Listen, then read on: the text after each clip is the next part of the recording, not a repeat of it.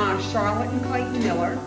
Uh, we're from New Orleans, and then we moved over to the north 24 years ago now. We builders, we flip houses, we do additions, anything whatsoever to do with houses.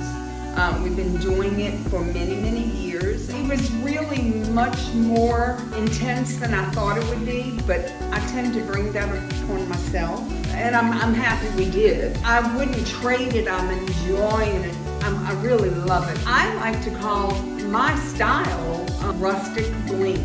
It's a very difficult to achieve that perfectly because you can't have too much rustic or too much bling. I love the wood. We stained it, we took a torch to it, and we have just played with it for days. But um, also, we've got some chandeliers going in that you wouldn't do in a cabin.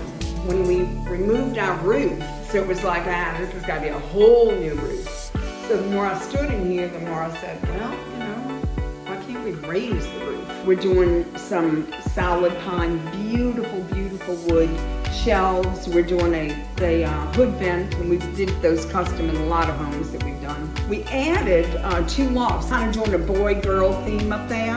So the exterior, I, I, I, love it. We got our windows, we got our front door, which is kind of a bayou scene, and we are bayou bling. When this comes together with people, when I tell my story, and my vendors, people I've worked with for years, I've never told too much about my experience with my son and Jude. And when I went to them to help with items, to help us with the house, pretty much tell them that we really want to win this. Our motive is to bless some things, St. Jude and another organization. They rally together. That has been the most, not shocking, but the most rewarding thing about this. I hope that everyone can see that small things, large things, being overcome.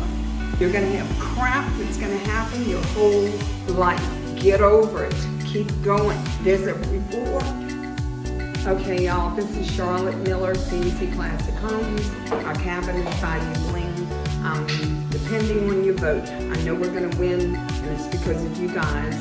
Just make sure and vote for cabin number four.